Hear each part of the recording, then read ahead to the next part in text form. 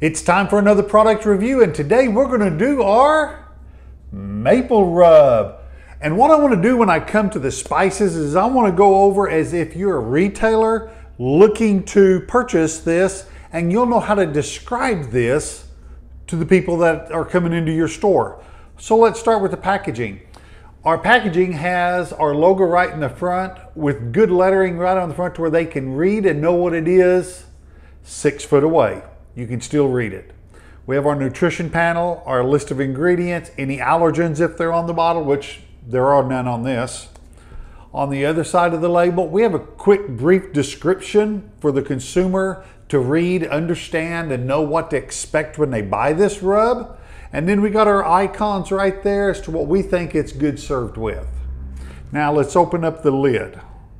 The lid comes with shaker top with all the holes you can open that up and you can spoon it out if you so desire.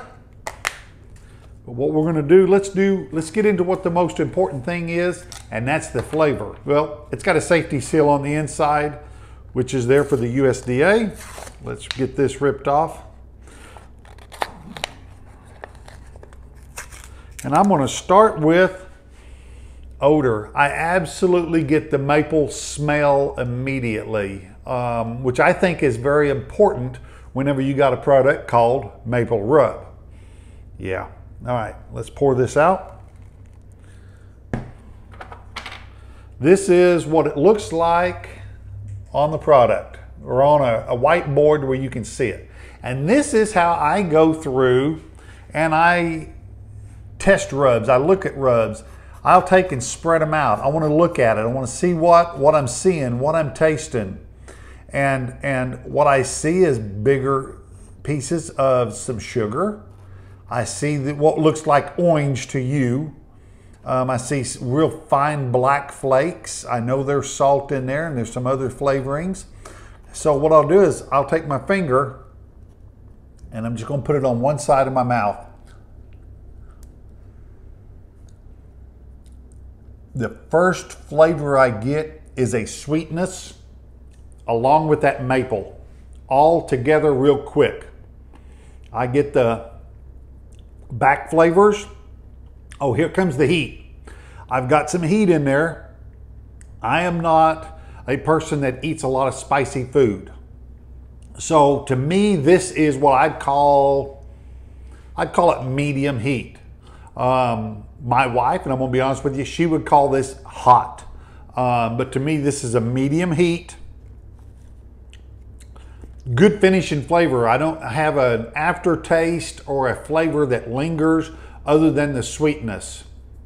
Well, the, the heat's going away right now. So it's not a long-standing uh, setting on my lips or my tongue and burning, so it's gone.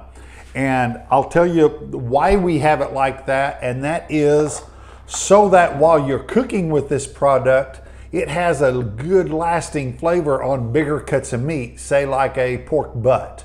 If you're going to cook spare ribs or baby backs, and it's going to be a three to six hour cook, you'll get a little bit of that heat, but it won't be predominant. The sweetness along with the maple will come through real strong.